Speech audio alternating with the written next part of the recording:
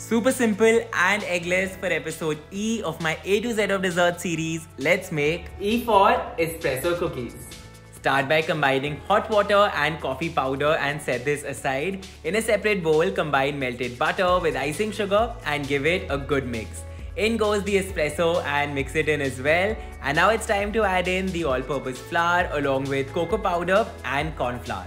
Once the dough comes together, chill it for about 30 minutes and then shape the cookie dough into small coffee beans. Use a knife to make a line in the center.